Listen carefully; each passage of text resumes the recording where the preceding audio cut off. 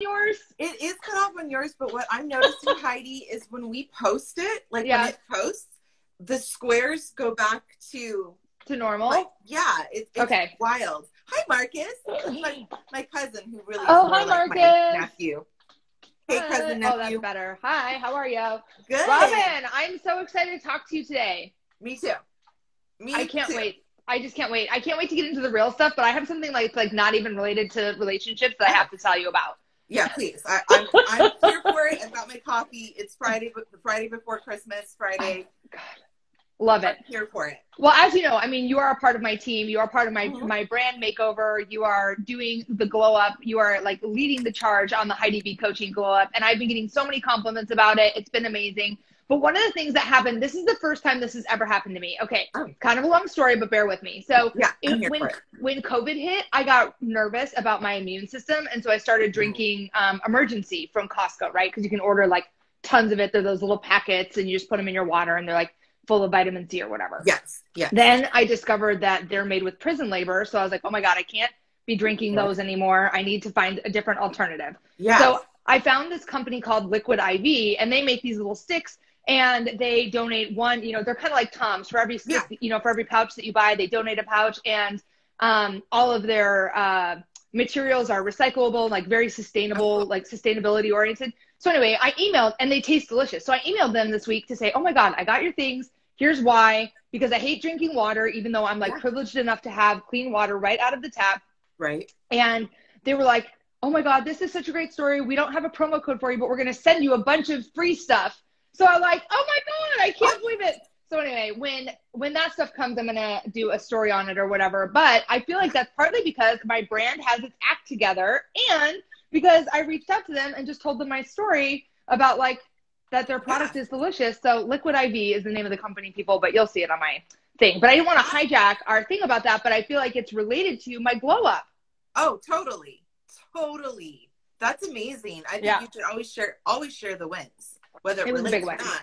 Wins are awesome. And I love knowing that information, Heidi. You know me. I, I Mhm. like it feels good to do good, to, you know, dress well, yes, but if you can feel good and give back and know the company is is on the same track as you Mm-hmm. and aligned with your vibe, then that's awesome. So Yes. kudos.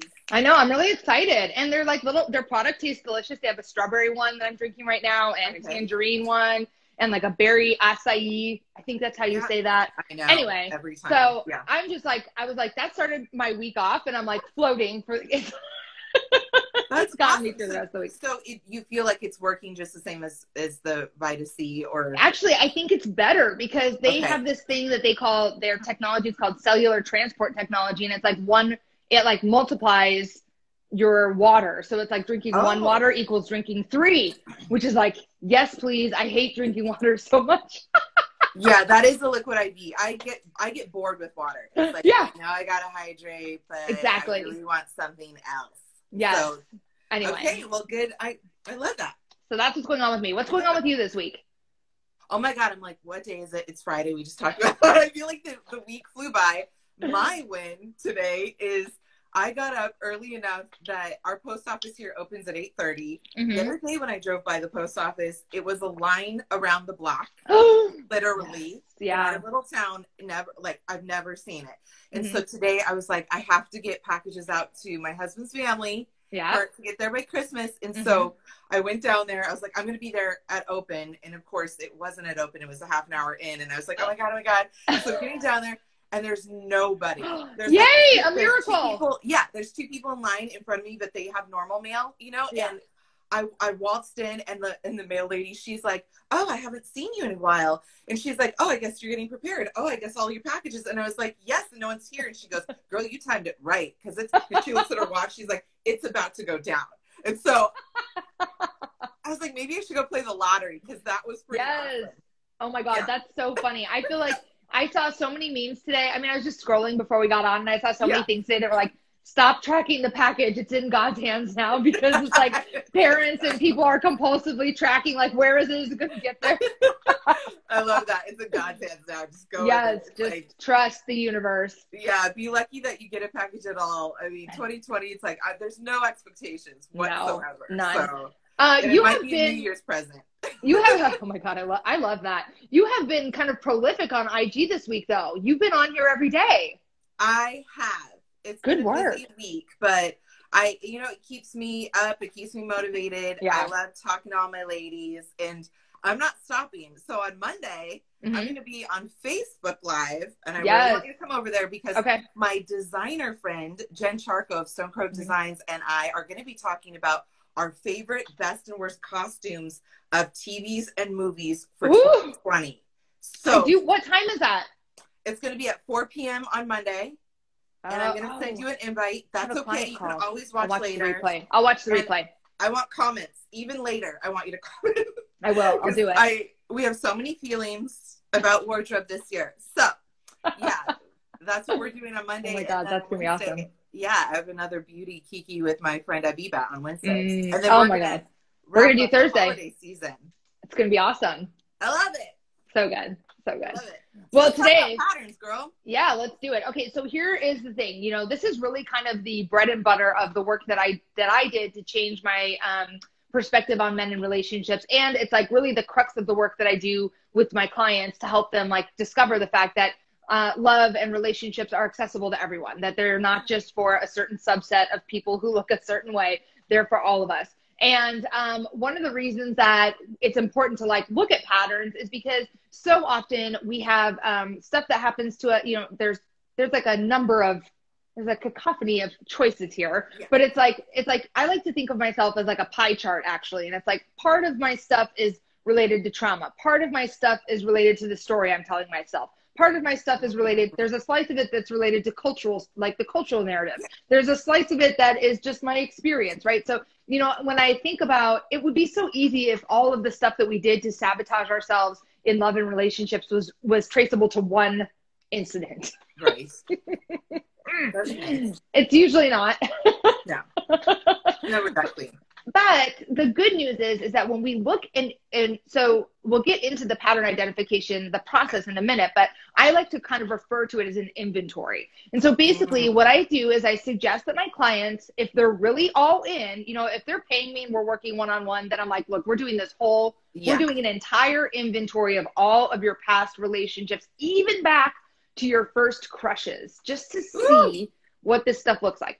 If we're not working together and somebody's like, oh, I'm kind of curious about this, I'm not sure, then I'm like, look, do this for your past five big relationships and see what comes up. But it's like Yeah. the more digging you do around this stuff, the the clearer the patterns are going to be. But we got to look, we have to know what these patterns are so we can see the ways that they manifest in our lives and we see the way that they kind of distort. Because it's like nobody goes into a relationship with the intention of like throwing a grenade on it and exploding it Yeah. with like arguments and fighting and, you know, throwing stuff or whatever, right? Yeah. We all enter our relationships with like the best intentions. We hope Usually. so. I mean, I would say, I guess maybe that's like 90% of us enter relationships with the best intentions. Oh, I like Yeah. this person. I think this is going to be long term. Like, we don't plan on cheating on them. We don't plan on No, lying yeah, whatever, you know, stuff stuff like that. Stuff like that is the consequence of like these old patterns, these old ideas, these old traumas that just kind of manifest in our lives if we aren't aware of them or Mhm. like actively working in the opposite direction of them. yes.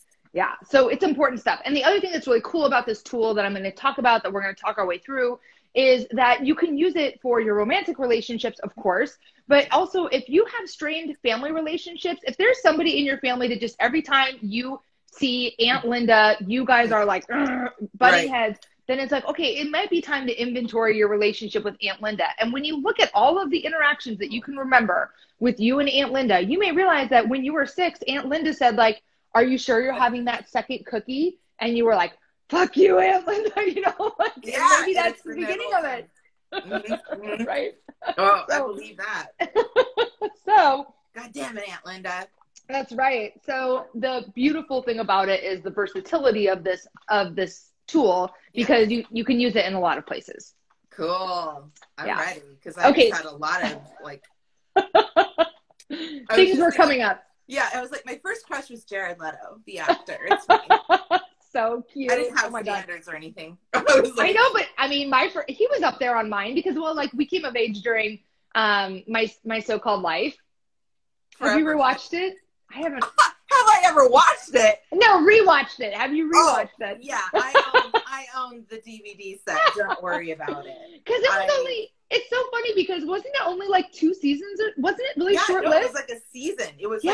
like a, it was like a long season. You know, like maybe a season and a half. But Mhm. that same creator created Veronica Mars, by the way. Ah, the same people did tracks. Mars, and then like later did some other show I love. I can't think of it, but yes, I let's just Yes. say I thought I was Claire Danes. yes, of course. So romantic. So, Just so indifferent. Like whatever. yeah, Oh. Um, so, totally. so there are a couple ways that you can get your hands on the. I have a series of worksheets to take you through this inventory. Okay. Um, you can you can also just create this little matrix on your own. You don't need to have the worksheets, but if you're Oh. feeling like, oh, I just want to fill in the blanks, then you can grab the worksheets.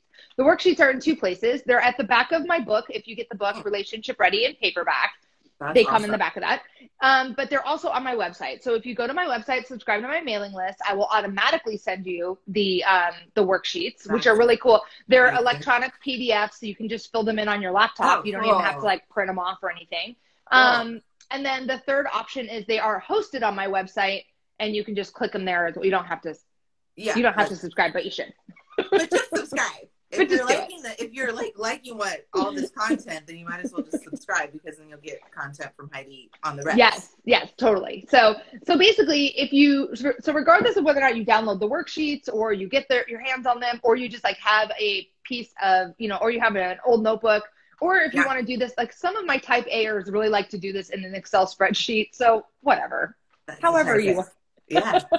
Whatever floats your boat. You know. whatever floats your boat, truly. I like to So- color and draw it out. and, And the other thing that's I think important to know about this is like there's no perfect way to do it, right? Because some of you know one of the things I really have noticed over the last year in the clients that I work with, you know, a lot of clients I work with are like type A perfectionist personalities and they want to do all the work and they want to do it all right and they just want to stay in doing this work and it's like Yeah. no this this work gets you ready to go practice it. So it's like once you have this awareness that you're going to learn here, then you have to go implement it. You have to go embody it. You have to go practice it a couple of times, you know, practice Yeah. doing the opposite, right?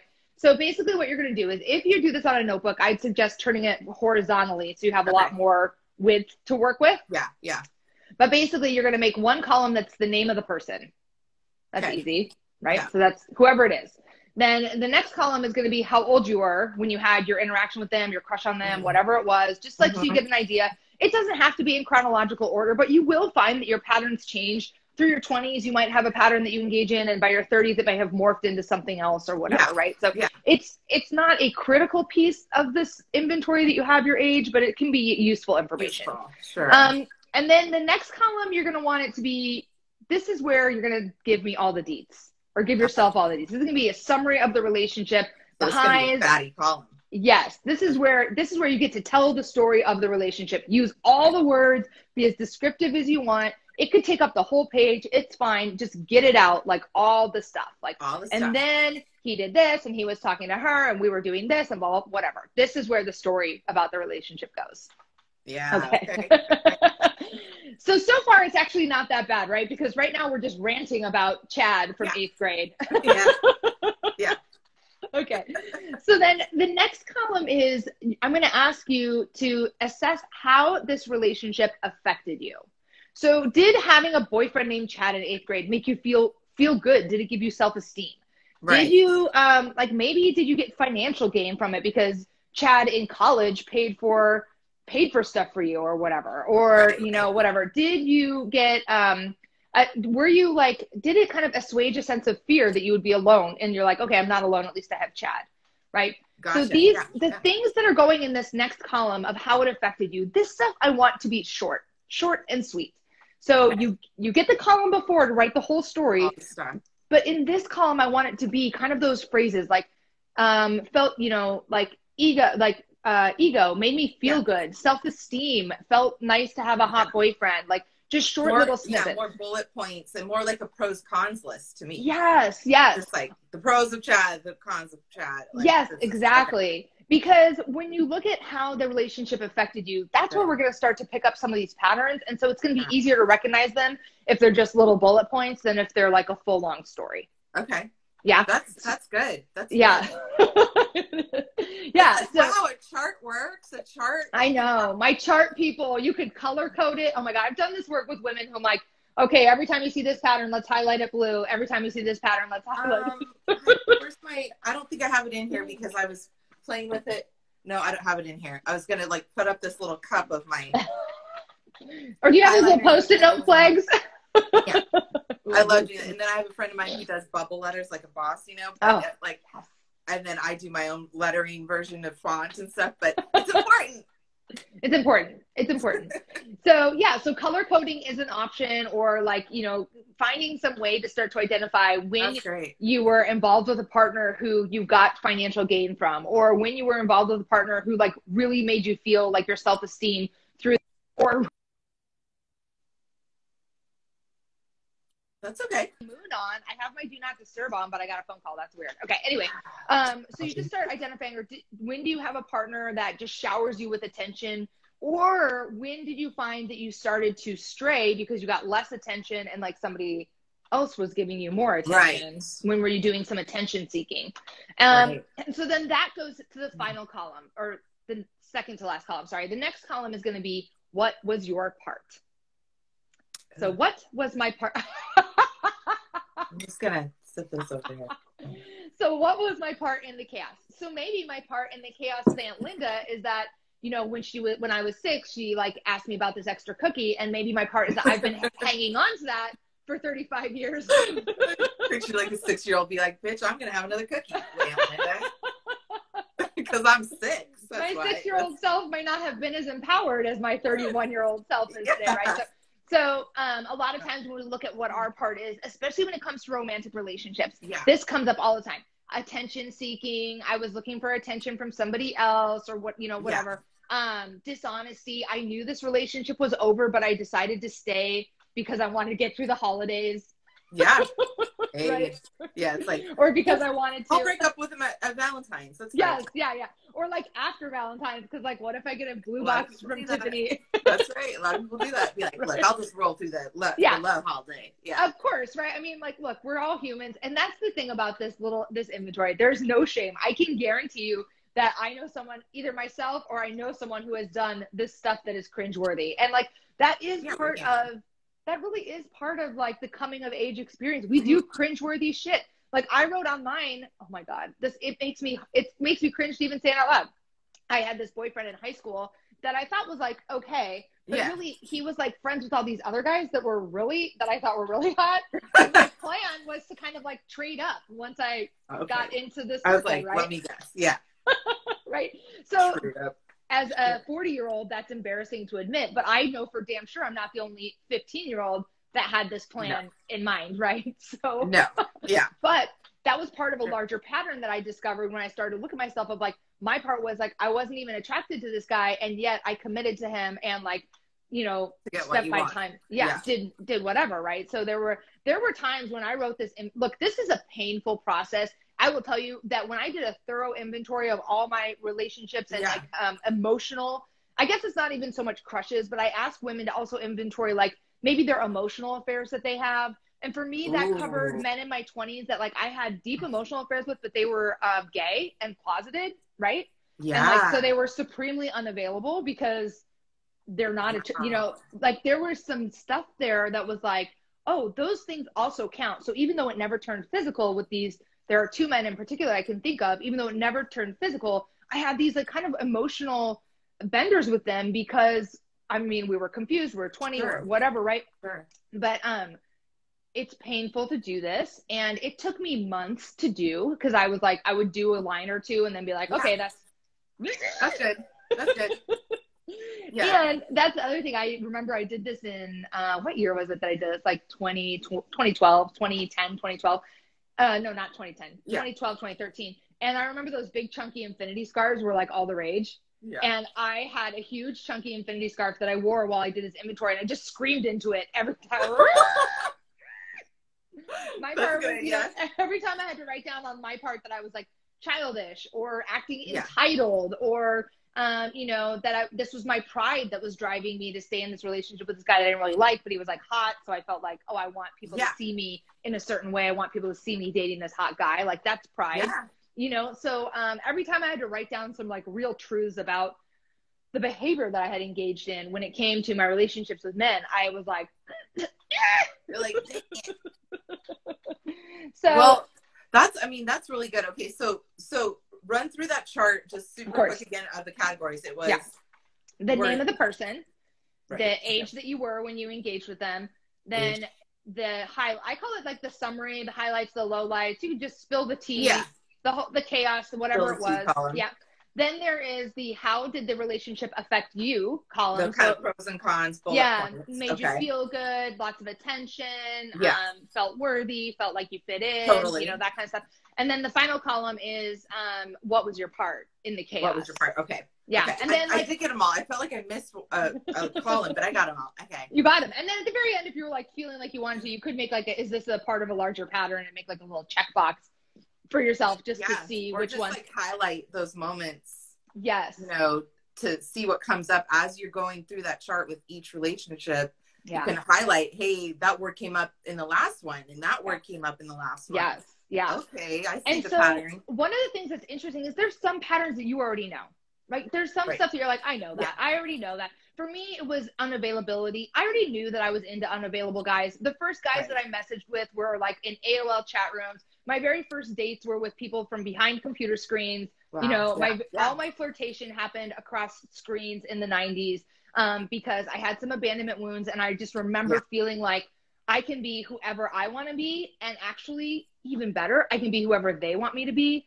And so I was supremely like all of my early flirtations, 13 to 18, yeah. were with people beyond screens because I had made this kind of. I had decided I had made this mistake and I had said yes to going out with a guy in my class and I didn't really know who he was. And then some other sixth grader came over to me one day and was like, Are you going out with so and so? And I was like, Um, yeah. And she was like, Ew, you know, and I was like, I had, you know, Yeah.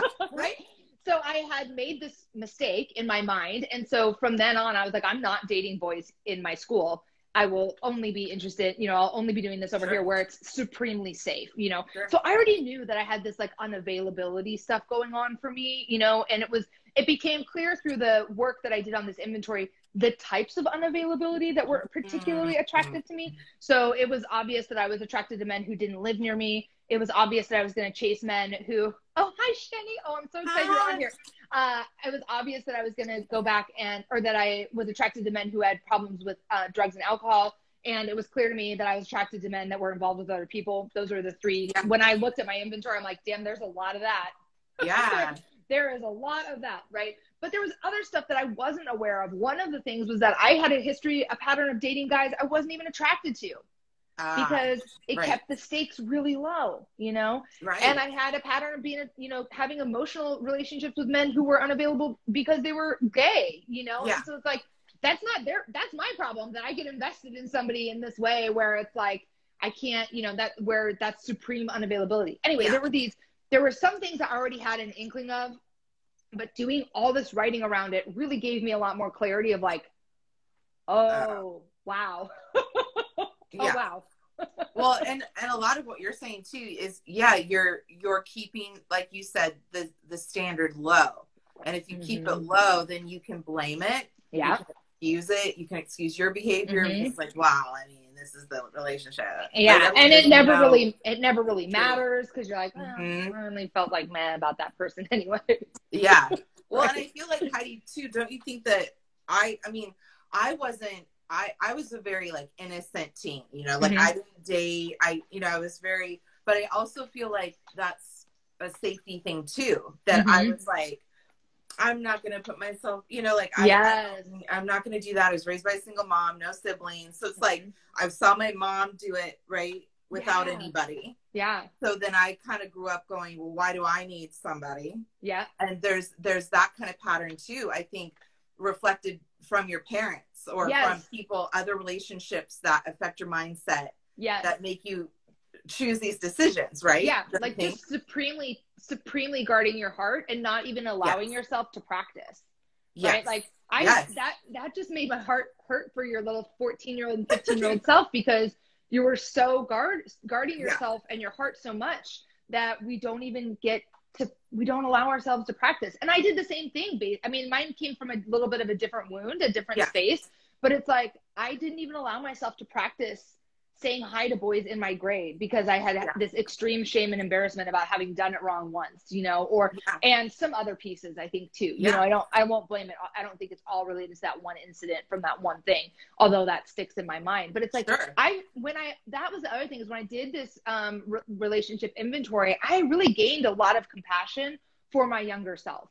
Of like, wow, That's, how I like that line. yeah, like how much she was struggling with all of the pain that she was feeling that she felt like she couldn't even feel safe enough to practice saying like hey hi you're cute you know like there was no way that my 13 year old self was t- or 14 year old self whatever you know like my teenager self was confident enough to say any of those things and made me feel sad for her made me feel some compassion for her so i gave her a big hug because um, she was doing the best she could you know but it was like we we remove ourselves from practicing this stuff around love and relationships. And then when we get to be older and we don't know how to do love and relationships and we've never had any practice with it Right. some of us No, do something crazy like i did. I mean i married a guy that i had met after like after six months and he lived abroad for three of those six months. So it's like wow.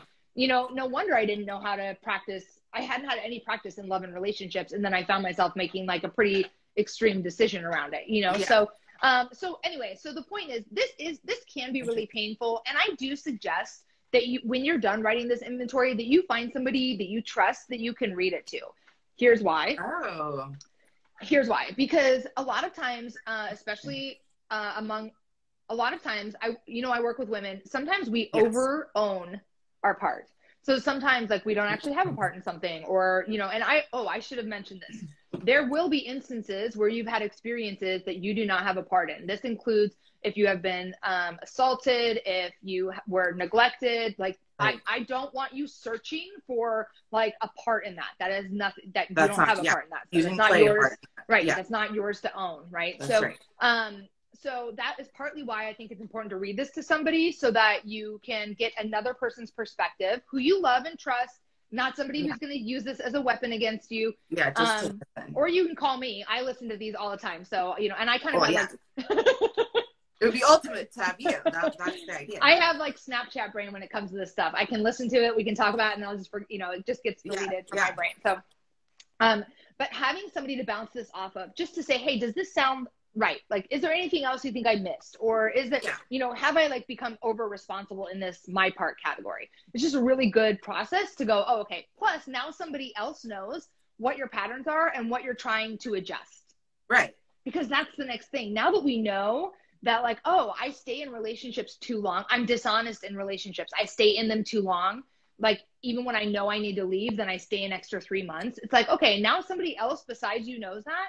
And the next time that you come to somebody with, like, oh, I'm thinking about, you know, they're like, well, this Yeah. is a pattern. Can you try something different? And like honor your feeling now instead of mushing it down and trying to pretend for another three months. No, that's good. It's like an account- accountability partner. Yeah. You know, just to Yes. hold you to what's what's happened to you and like where you're where you're trying to go. Yeah, you need Yeah. somebody. I mean, I try. I think I'm a I'm that person for a lot of my friends. Mm-hmm. You know, because I'm so blunt or honest and in the best way possible. Yeah. But but yeah, you. I mean, yeah, you need a person like that. I like that because I'm like I said, I'm usually the person Mhm. that people want me to hold them accountable. Mhm. But who who do I go Who's to? holding? Yeah, who's holding space Right? for Robin? Right. right. So that Um, that's interesting for very strong personalities, I think. Yes. Um, to think about that because that's it's like who would I go to to trust and yes. Sorry, I didn't mean to interrupt. no, I no, got- no. I got so jazzed just it. thinking Because Yeah. I was th- as I was thinking about even the experience you shared with me about not dating growing up, right? There is also something to being the person who holds space for everyone else but doesn't ask other people to hold space for them, right? And that's also another way where we like set the boundaries up so like we never are vulnerable to anyone. We're super nice. Everyone loves us. People come to us all the time to ask us to hold Yeah. space for them, but Oh, it yeah. really is hard for us to ask others to hold space for us. very And hard. um, that has been something that I've really had to put some energy into because I am very much like you. I love, I love being the person people come to. It's partly why I work in this industry. Uh, it's partly why I've always been able to hold space for friends, but it's very scary for me to ask somebody to hold space for me and for me to say, this week was fucked up and I'm a mess and here's why, you know? Yeah. And in order to give myself permission to do that, I have reminded myself that my friends want to hold space for me because they actually, if you think about the way friendship works, it's like your friends really just want to get to know you better. And we don't we don't Yeah. let them we don't let them get to know us when we're always getting to know them when we're Right. always holding the space for them we're Right. always getting to them but it's like it is such a an it's such an act of service and an act of trust to our friends and an act of reciprocity when we say to them like oh my god i need to tell you about this i just need you to listen to it and i need you to cheerlead me and hear it hear it all this because it gives them the opportunity to get to know us and then it gives them the opportunity to show up for us and um, i really rarely let people show up for me because i'd much rather just I'd much rather just like hit the tennis ball over the net, run around to the other side, hit it back, run around to the other side, hit like I would rather do all the showing up than allow somebody to show up for me. So when you do some of this inventory stuff, we learn those patterns too. That like we're very when we're very guarded and we're very used to like running the show, that sometimes that manifests in this way where we just end up taking care of everyone and we don't really have anyone we don't ask anyone to, to return the favor and to take care of Right. us. Right. I, I mean, you're just preaching to the choir here because I'm Mm-hmm. that person. And then what happens is that I'll when I do try to be vulnerable Mhm. at some level, Mhm. and it doesn't go the way that I Yeah. pictured it, Yeah. because now I have have it all built up, and I'm gonna be grand, of course, or dramatic about you know sharing my vulnerabilities, Yeah. and then it's not received right because people now aren't expecting that from me. It's like, oh, Yes. you're the strong one. You're the strong one. Like, like I don't know. I don't know how to do. I don't know how to. What like the world's gonna end if if the strong one can't keep it together. You know. and so then they don't know how to respond a lot of times Yes. to that because now. And I'm a Leo. I'm very a lot. So it's like you know Mhm. we're we're just a lot of energy. So then when we come with that, just like we come with all this strength, Mhm. when we're down, we come with all that darkness. Like oh my god. like I don't have like a nice little like medium like, hey, guess what this week? I agree. sucked. I want to agree. listen to it? It's like I'm, I'm tired. It's over. It's too much. You know, I'm crying. Oh my You know, god, I feel attacked. I feel seen because here's the Yeah. thing. We we have to we practice. There are two things that are coming to mind. One Practice. is that we teach people how to treat us to some extent. And so Yes. when we never ask people to show up for us, they don't expect to have to show up for us. No, So and they're like, not oh, okay. They're yeah, not and ready. they're like, uh, especially not out because I'm the same way. I don't want to tell you anything, and then like I want to be able to call you sobbing and have you be like, oh my god, you know, like, ah, right? So, Yeah. um, so the first thing is we do teach people how to treat us. So we have a little bit of responsibility there. But then the Yeah. second thing is then we get to practice. And so what I've started to do is moving into the space of like, hey, I really need to talk. Can you call me? Or hey, something really bad. Now this is tough because I am not a good bearer of bad news. I actually I had to deliver bad news to my brother this week, and he was like, I feel like I always almost give somebody a heart attack because I'm always like, we need. I because I so rarely say we need to talk. I Right. have something to tell you. People are like, oh my god, you know. Yeah, Um, it's like it's like if I call somebody, they're like, "Oh, oh my God, why is she calling me?" Like it's Yes. it's like, "Hello." yeah.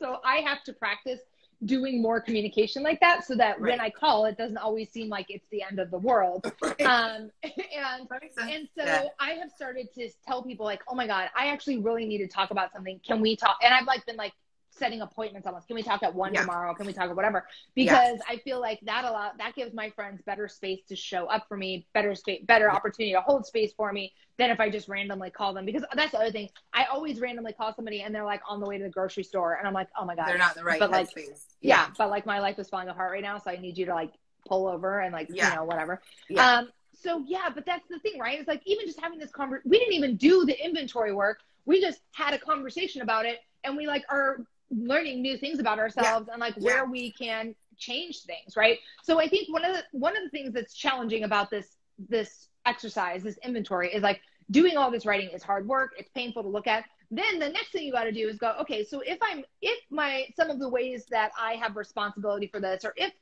some of the places where I'm writing the my part column are like dishonesty, childishness, entitlement. Those are my top three. I have to tell you. I, I, wrote childish a hundred million times. I'm like, oh my God, I'm a 37 year old grown ass woman writing that I'm, you know, or a 35. I can never remember exactly how old I was. 34, 34 yeah. year old grown ass woman writing down that I'm childish because I have these entitled expectations of how people should like read my mind and show up for me. Like childish, childish, childish, childish. So I always have to check my behavior for childishness, to be totally honest. Like yeah. for petty, for pettiness, for childishness, because um, that's that's just part of who I am. So yeah, well, I mean, it it's it's great that you admit it. It's one thing to admit it, and just real quick, hi to people who are joining. Yes, Sid. Um, but yeah, I I think it's that's half the battle. I think that's half the battle in any kind of challenge uh, that you're facing with yourself is to mm. admit to admit it. Yeah. You know, to like put pride aside and say, yo, I'm childish.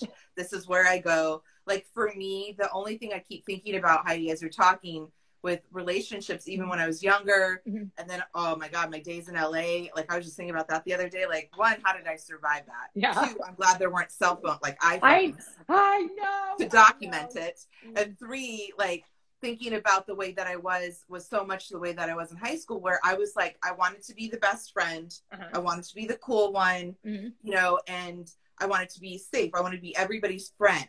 Mm-hmm. You know, that was my thing. And I wanted to be helping everybody with yeah. all of their stuff. What do you think I still do today? I mean, yes, I've moved it into a business mindset, yeah. Yeah. but there's still I've I've been setting boundaries, especially this week mm-hmm. again with people that are calling out to me and not understanding that right. my livelihood or yep. that you know you're not that close a friend to for me to give you all this advice like yep. all this stuff just creating some boundaries because i'm like wait a second i do this a lot yeah I, I mean they're coming to me because clearly i gave them that freedom or information yes, or advice right somewhere before mm-hmm. so it's not coming out of nowhere it's not mm-hmm. just their fault or their mm-hmm. fault or assumption right, right i put something out there that said it was okay for them to reach out to me like this. And so my solution this week anyway yeah. has been setting boundaries in the most respectful way possible. Yes. But to tell the truth, to say, I adore you, I adore what you do, but unfortunately, you know, you're not within my close circle of people mm-hmm. that I would totally just give free advice yeah. to. Yeah, yeah, yeah. But um this is who I am. This is my livelihood. Mm-hmm. This is what I do for a living. Good it might seem fun. It is fun but yeah. it's still I I need to get paid. Like yes. or I need compensation yes. for um why you're reaching out to me and just trying to be clear about it and not be hurtful. And that kind of goes into last week, right? With the boundaries. Yes, I know. I, totally I was just thinking this week. Good job. And that really speaks like that's amazing work. It's uncomfortable to do that. If, you know, yeah. after 40 years of people pleasing and showing up and holding space, you know, for, I'm speaking for myself and holding space for people, all that stuff, yeah. it is very hard to go, okay, wait a minute.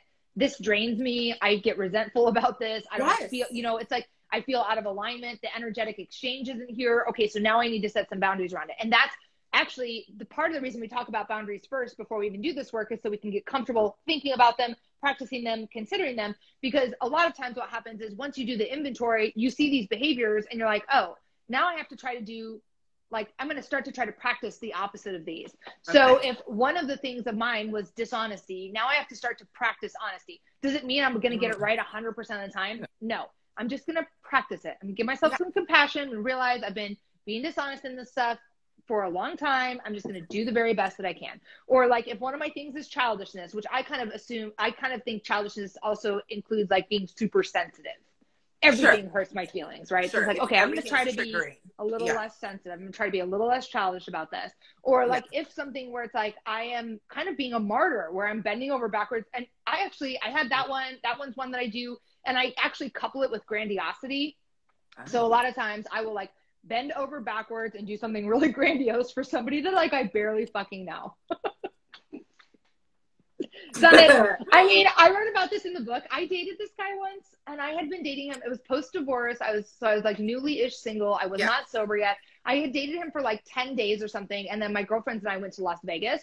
And the only thing I really knew about him was that he worked at a bar in town and that yeah. he like wanted to have a bar in his own house. So like alcoholic me, I'm like, this is awesome. You're this amazing. Yeah. yeah. So we go, my girlfriend and I go to Las Vegas and um, I didn't like win any money there, but I was shopping like as if I had won money there. And so I went into Tiffany and I found a champagne stir for this guy's bar that like I thought would be Yeah. perfect for his bar setup. So I bought him this like probably 250 or 300 dollars champagne stir. It was like from Tiffany. Yeah, Tiffany. And I come back from Las Vegas and our like third date, I give him this Tiffany box and he was like he was like, "Oh my god, this is really nice, whatever." And like of course the whole thing fell apart after that, right? Sure, Because it was like such sure. a weird and grandiose and bizarre thing to do, but I just like in the moment it felt so fun and so like whatever, Yeah. but it was like when I really looked at that in my inventory, I'm like, wow, that was grandiose. It was manipulative. Of course, I was trying to like get him to Mhm. like me. It was like very much in that like manic pixie dream girl like idea that I Yeah, wanted to think about me. yeah, it's kind of a, a movie state of mind. It's like, well, in the movies, the girl gives a thing, and then she's like loved forever, and then he Yeah. gets a house I in mean, return or something. It's wild, But, right? So it's like yeah, so anyway, oh, so when I looked at sorry, I like completely lost my train of thought because I was like in yeah, that story. But um, the point being that when I looked at my inventory around my grandiosity or my martyrdom, I realized like I need to set some different boundaries so that I have relationships with people that I don't resent. Oh, that would be nice. Yeah. I know. I yeah, huh. No, because I girl, I do the same thing. And I always kind of chalk it up to that's my that's my love language. Yeah, Gifts. Gift gifts. I'm a Me gift too. giver. I You love can ask gifting. anybody, Yeah. right? Yes. So we're uh, we're cut from the same cloth that way. So for me, I would to I, I totally like will see something for somebody and I can't. I'm like, it's perfect for them. I have to get it. I have to send it to. I have to.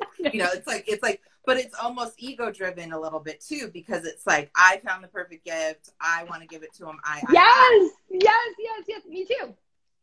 But then there's also I love the satisfaction of knowing they're getting something to you know that brings joy or improves their Mhm. life or whatever. Mhm. But if their reaction isn't the way I think it should go, once again, I'm just like, well, I'm not going to give them a gift anymore.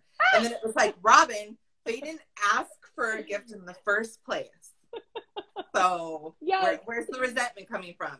You know, I mean, it is like I have that tra- like not track record, but I constantly, Heidi, have to talk myself out of I know. being generous or stepping back Yeah. or like even with Christmas this year. Yeah. I was like, I I cannot go overboard Yeah. because there's been a track record, you know, of people just not accepting Oh what I'm putting out there. And I searched and I, you know, went down, to, I went to that perfect store and I was Mhm. really thoughtful, thinking of them the whole time.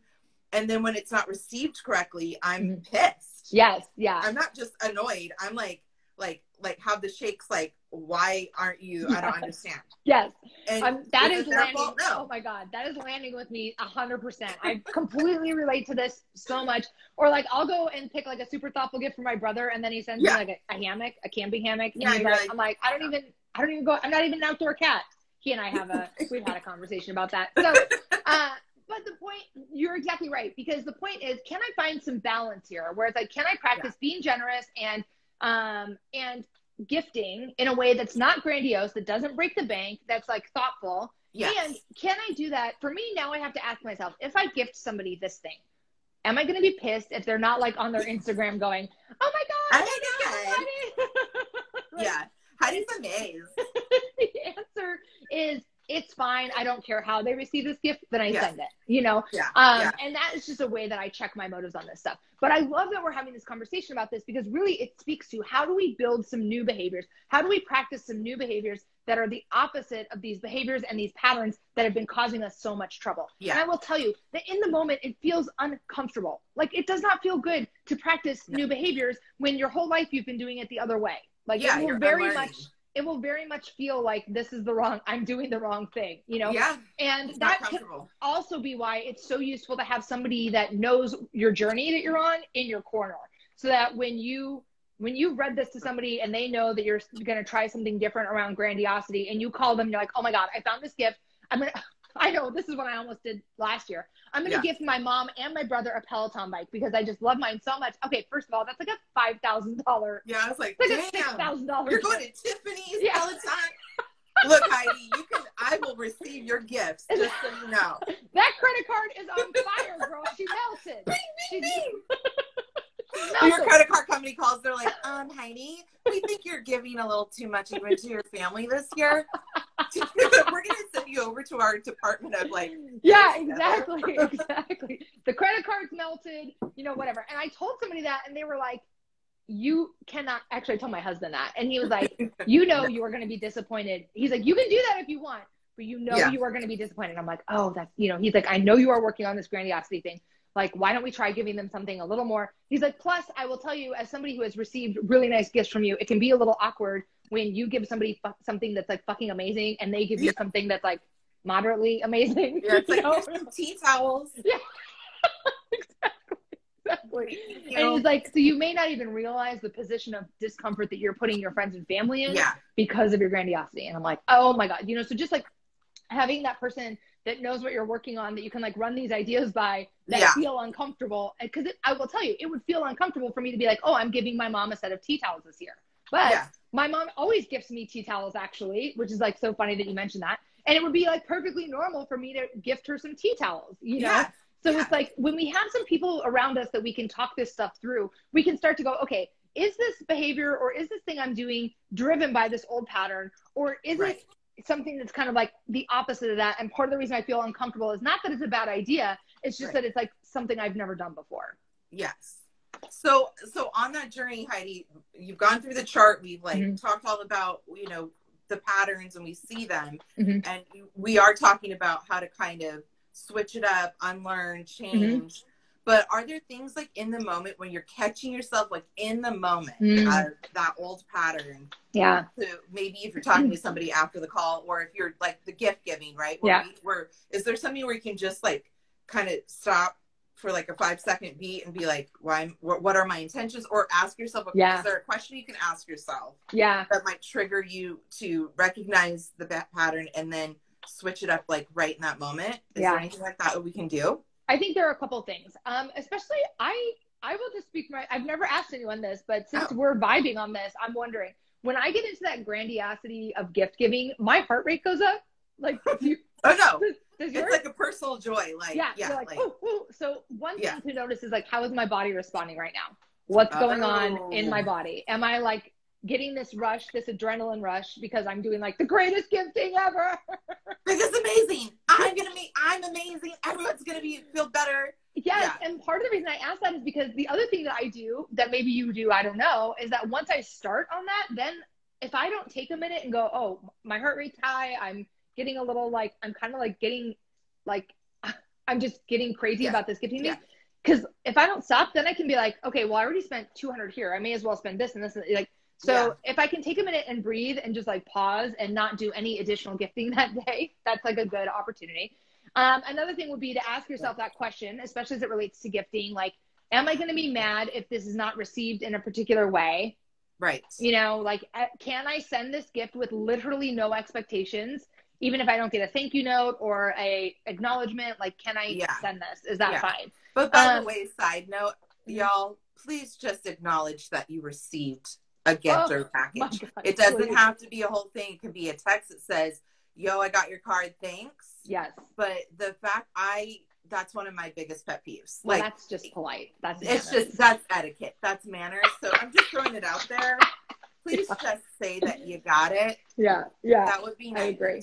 It's Okay, useful. anyways, Um, going forward. if we if we shift the example to like trying to communicate differently um so one of the things that people pleasers do a lot is they'll agree to we talked about this last week i think Yeah. actually but they'll agree to something without really thinking about it and Right. if you've done that and you're like oh shit i'm trying to do something different fuck you've got a couple of options you can either just like chalk it up to practice and go well i'm just going to keep this commitment because i'm trying to practice and like this one got Yeah. away from me or you can call the person back and say you know what i'm really trying to practice something different this season and i said Yeah. yes and I, like that. didn't mean to. So I actually have to, you know, I have to cancel and um and I'm sorry, you know, Yeah. right? So there is I actually really love the opportunity of owning the practice of new behaviors and new communication styles. I think it um, actually gives us uh, I think it allows us to be really vulnerable and actually allows us to build some intimacy with the person we're talking to because Yeah. I'd much rather build that intimacy of like, wow, I didn't mean to say that. I'm sorry. yeah. I'm, I'm practicing something new and the old way of my old life you know the old me just says the stuff and like whatever and i'm trying something different that's a much more intimate conversation than either not having one at all or lying about it and being like Yeah. uh you know whatever right so yeah. there is some practice in showing up vulnerably and intimately by just saying by owning i'm practicing something new and this one got away from me Yeah. I like that. I mean, that's just, and it's the honesty thing again. It's Yeah. just, just be honest with people. People can get over it Mhm. if they don't like your answer if it's honest. Yeah. No, it's, I. it's interesting. Yeah. I, I mean, look, I, I've gotten over a lot of things. Like, well, you know what? It's not what I wanted to hear, but they told me the truth. So what can I do? I can't be mad at it. yeah. You know, I mean, and I think a lot of people understand that as opposed to lying, and then they find out later that they caught you in a lie. And Mm-hmm. Yeah. it's a, now it's a whole thing, and it Right. doesn't need to be. And I think there is um there's something about the emotional maturity and it's a process to become emotionally mature enough to say like, wow, I'm trying something different. This one got away from me. I didn't mean to say yes. I actually need to say no. Or, you know, Yeah. whatever it is. So it's like there is um the vulnerability of that I think is really beautiful to bring to the table. Yeah. And uh, I agree with you that when we are honest with ourselves and with others, like there's not much else to it's like it's out there. People Yeah. can take it or leave it.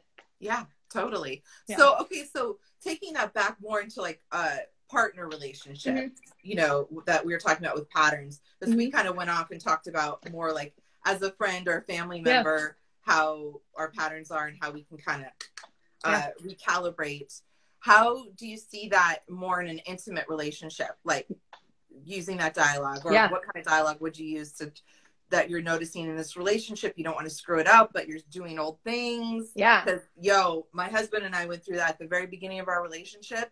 Mhm. I was in my twenties, living in Mhm. LA, so there's that. But he's also over here dating, you know, a lot of women that Mhm. just weren't good for him. Mhm. So he was coming with that, and I was coming with this. Yeah. And I'd never fought with somebody ever in my Uh-huh. life like I fought with him at the beginning, thinking, Yeah. I'm I'm not gonna like. I was like, this this is over. Like I Mhm. can't I can't do this Yeah, yeah. but then I literally stepped back and had a I called somebody I trusted, which was my mom, Mhm. and we talked it out. And it was like, no, I want this person in my life, Mhm. first of all. Mhm. So, what can I do different Yeah, to keep this relationship and now make it healthy? yeah.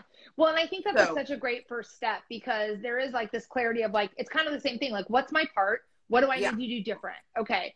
And then I think once we have that clarity on that, there is, especially if we're already in relationship with someone, communicating that is really important. Hey, I Right. thought about our last fight and I really looked at my part and I have to tell you, I have been Mm. really jealous. I'm going to do what I can to let you know when I feel threatened Yeah. and also to just feel like and also to just like know and i'm also just going to remind myself that we're secure in this relationship but i Yeah. want you to know that when i'm feeling threatened i really need from you some extra psa or some Yeah. ex, or some extra what is that public pda not psa PDA. yeah.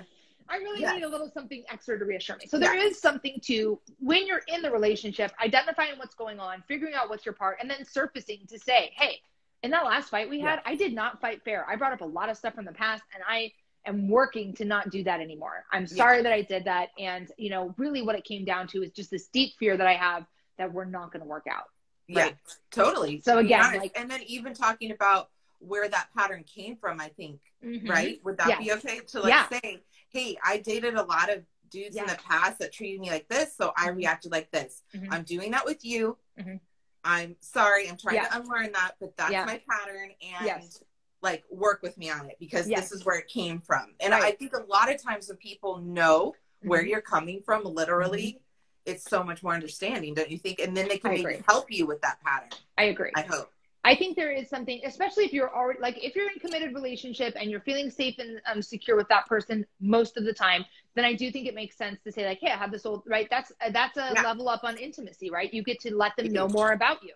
Um, so I think that's really important. Uh, the other thing I want to say just before we wrap up is that yeah. because I'm like looking at the time, like, oh my god, how did an hour go so I know, fast? just- that's the key of it all. I'm dying. Um, the other thing I will say is that when you've done the inventory and you're like looking at all this stuff, the next Yeah. actually the next step, and we can sorry, there was a dust, a cosmic dust.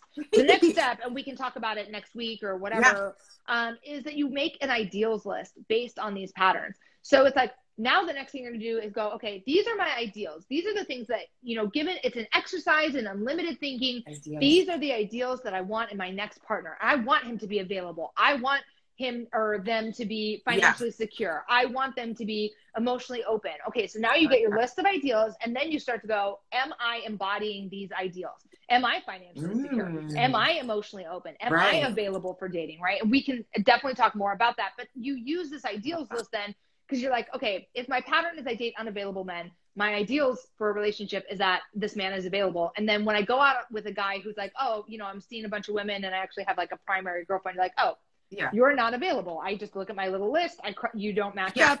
You're out. You can kind of use this list to like weed out the separate the wheat from the chaff, as it were. So Yeah, Um, yeah, and it and it's a healthy list. It's not like an old school checklist that we it's maybe not like seen in a film or two, where it's like he needs to like you know how like wear black socks and never order olives, and he needs Yeah. to have his part on part his hair on the left. Yeah. Not that list. No, it's like a grown up list.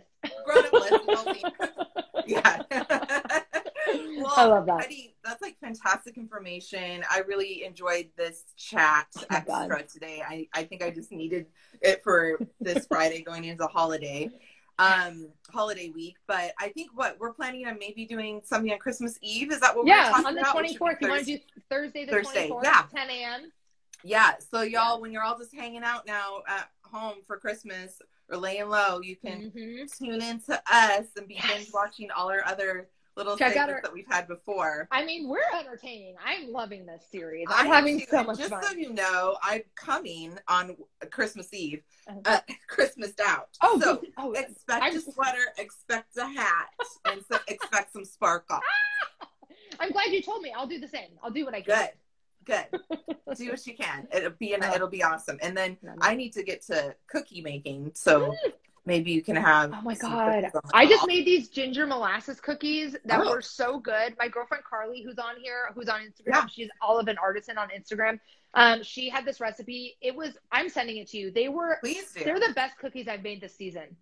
Yeah, please do. I've never made a ginger like You're gonna need some cookie at all, spices. so. The only you need you do need clove, ginger, cinnamon, and cardamom, which I did I not like have the that. cardamom, my, but my parents will have it. Yeah. I made it without that. But the cardamom gives them a chai because they're actually chai ginger molasses. But I made them without the cardamom. Anyway, sending it to you. You got it. All right. Girl. Love you.